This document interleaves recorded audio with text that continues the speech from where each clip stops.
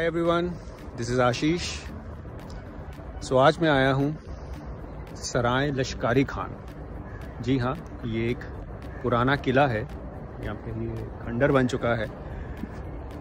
On the outskirts of Ludhiana ये दोराहा से कुछ पाँच सात किलोमीटर आगे। और ये वही जगह है यहाँ पे रंग दे बसंती की काफ़ी सीन शूट हुए हैं। इवन वो गाना जो था, तू बिन बताए सोहा अली खान और आर माधवन और बाकी सभी स्टार कास्ट के साथ शूट हुआ था। वो यहीं पे हुआ था। इनफैक्ट जो भी आप ड्रामेटिक सीन्स देखते हैं मूवी में, वो भी यहाँ पे शूट हुए थे। काफ़ी सालों बाद आया हूँ यहाँ पे।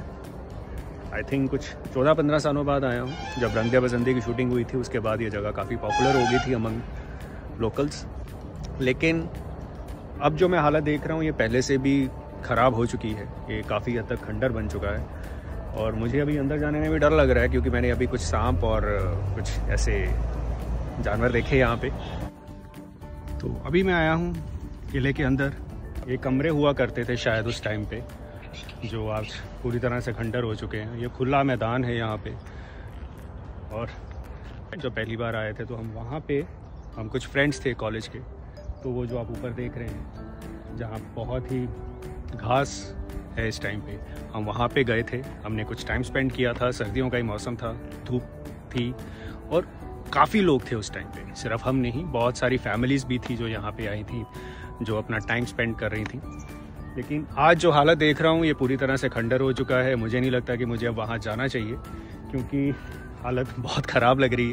तो जस्ट आपके लिए अब एक पैंट शॉट लेके मैं पूरा आपको अभी एक व्यू दिखा दूँ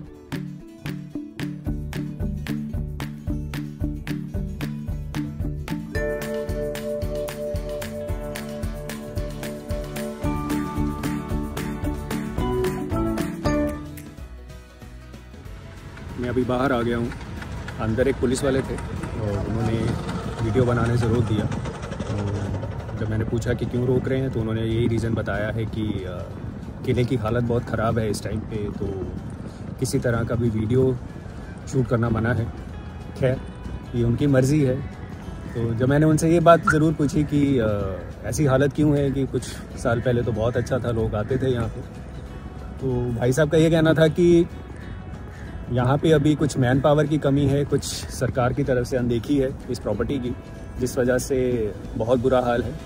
हालाँकि उन्होंने एक परवाह करते हुए ये चीज़ बोली कि आप आगे मत जाइए कि आगे आ, कुछ भी हो सकते हैं सांप वाप हो सकते हैं या फिर अगर आप सीढ़ियों की तरफ़ जाएँगे जो छत है वो भी अच्छे कंडीशन में नहीं है कभी भी गिर सकती है तो मैंने उनकी सलाह मानते हुए यही डिसीज़न लिया कि आगे ना जाऊँ क्योंकि मैं मेरा मन भी अंदर से यही कह रहा था कि आगे नहीं जाना चाहिए। तो यही है। आ, अभी ये कपल अंदर गया है आई डोंट नो उनको भी अंदर अलाउ किया जाएगा या नहीं। आई थिंक वो बाहर ही आ रहे सो so, एक और किला इन्होंने मुझे बताया है जिसके बारे में मैं नहीं जानता था तो अभी मैं वापसी में देखूँगा अगर जाया गया तो I try to shoot there also सुना है वो अच्छा है इससे बेटर है। मेंटेन्ड है ये तो मेंटेन्ड नहीं था। थैंक्स फॉर वॉचिंग अगर आपको ऐसी वीडियोज़ अच्छी लगती हैं तो please share it subscribe it like it comment it अपने कुछ सजेशंस दीजिए किस तरह की और वीडियोस बनानी चाहिए मुझे। या नहीं बनानी चाहिए, अगर नहीं बनानी चाहिए तो तो भी ठीक है। अगर बनानी चाहिए तो आपका सपोर्ट मिलता रहेगा तो मैं ज़रूर और वीडियोस बनाता हूँ। Thank you